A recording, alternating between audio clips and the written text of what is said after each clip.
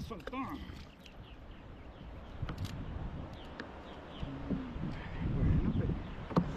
Igual. ¿Será que solamente cochitos hay ahorita? Estoy aquí como unos 60 minutos. Ya lo agarré. Si estoy. Si lo entre las rocas, pues ya ni modo. Pero aquí siento resistencia. Sí, sí coletea. Es un pez de las profundidades. Y que no está ni grabando esto. Creo que. Lo tiré allá lejos y me vine a encontrar a Javier. Sí, ese sí aquí anda. Definitivo. Y veo muchas sardinitas aquí.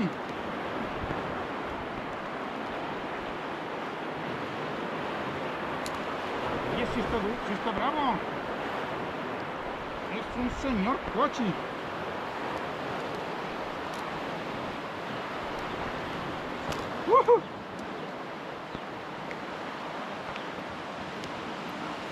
Sí me gusta que dé pelea. ¿Cómo quema el sol? ¿Cómo quema el sol? Es un cochón lo que traigo aquí. A ver, con la mano. pues. Ya de venir cansado porque lo traigo desde por allá, desde lejos. Uy. ¿Qué es? Allá saltó una cabrillita, Javier. Él anda en una guamala de 12 pies. Y este es de 9. Y este es un coche como de 6 tostadas o 7.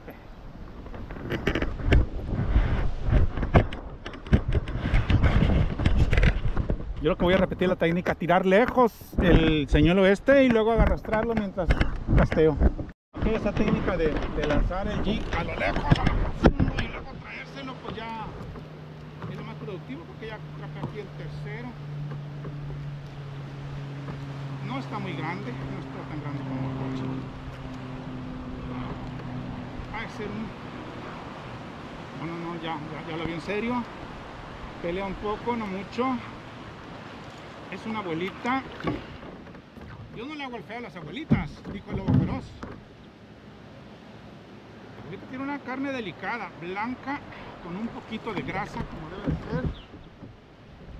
Y nunca les he encontrado parásitos. Entonces, como te iba diciendo, Kiko, agarras el jig de estos, lo tiras lejos, a lo profundo, dejas que se hunde y sigues con tu vida. De repente te va a dar una sorpresa. No debes dejar que se paren las piedras.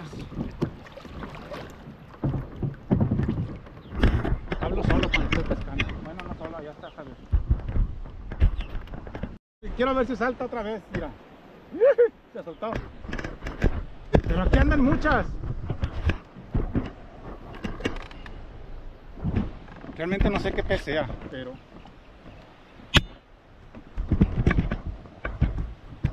saltó dos veces. Lo malo es que ahí está, ya picó otro. A ver. No. Anda un cardumen grande de esos peces. Son largos, largos y delgados.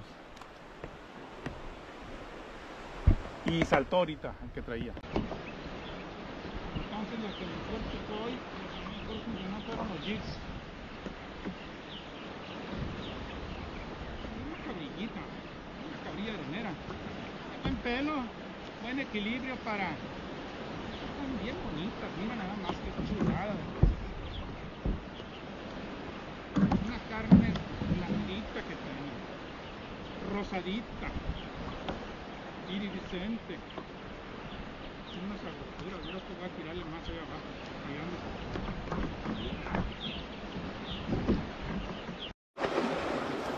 Y es un buen punto porque es una grieta que viene desde allá, desde lo profundo. Cola de un pez, aquí hay un pez grande.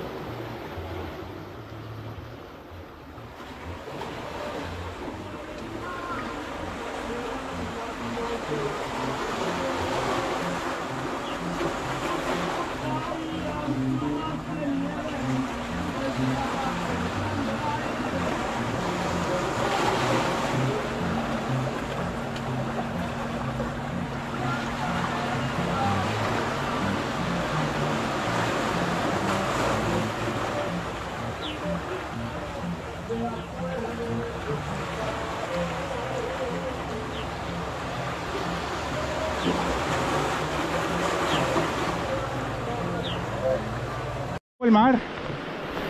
Mira nomás.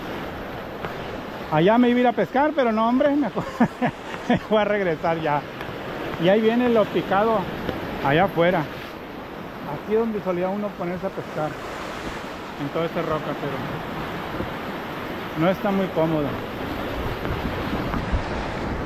Voy a invitar a, a Javier a que hagamos la graciosa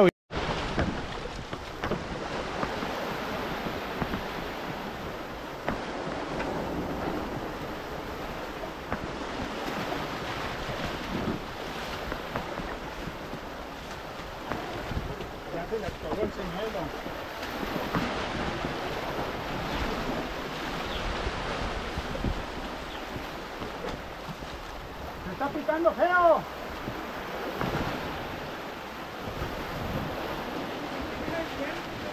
¿Eh?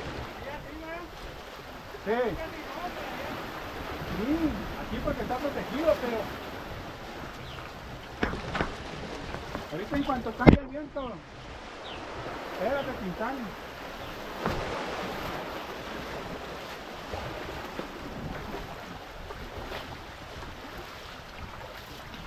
Y este es el corredor debajo del peruano. Ahorita está rica el agua con este calorón. Estamos a 43 grados. Pero la sensación térmica no sé cuánto será. Muy calor. Ganas de, de bañarme una con luz de sardina que traigo aquí. Cabrilla. Cabrilla con actitud porque está casi de su tamaño el señuelo. Una cabrillita. No la vamos a echar porque hubo muy poca, pero ahí va. Es una cuchara. Este es diente. Ah, les decía que el viento no crean que está a nuestro favor. Bueno, así como está así. Está como a 90 grados de donde vamos. Que pasa es que venimos, el cerro distorsiona todas las corrientes de viento. Pero está, mira. Nosotros vamos con rumbo este y el viento ahorita es suroeste. Viene el suroeste. Ahí va. Viene Javier saliendo después del, del, lo que el cerro mueve las corrientes de aire. Supongo que le va a dar igual que a mí. Pura vida un buzo.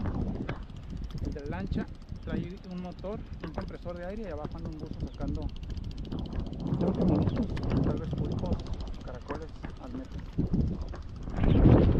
Ahí vamos.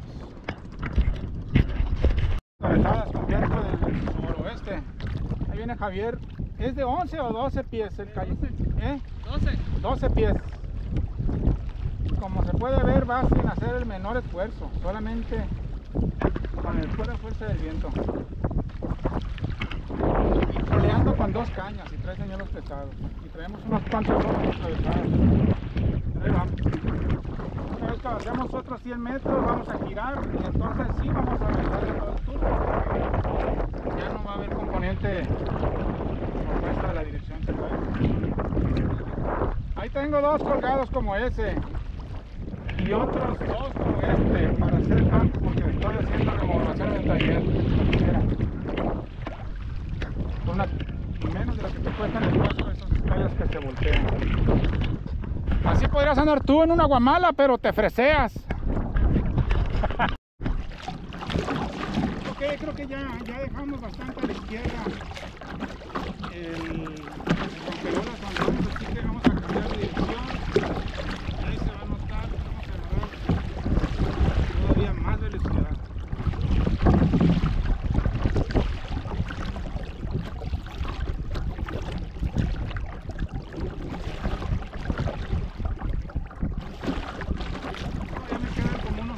para cuando sea la contaminación.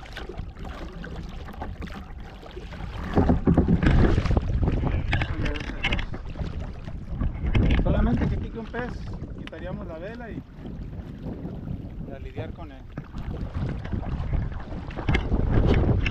Ya te vienen rumbo de colisión conmigo, así que voy a tener que hacer muy ladito.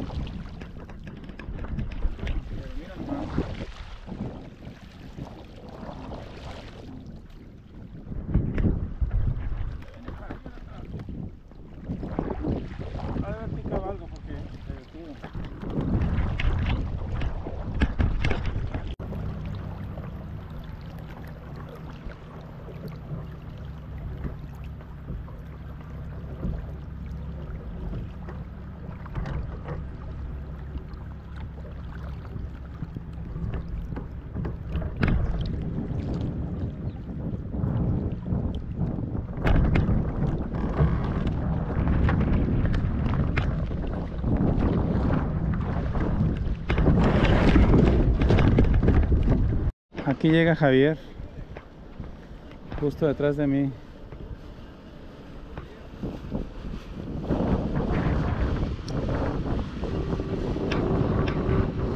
Y ese podría ser tú en una guamala, pero te freseas.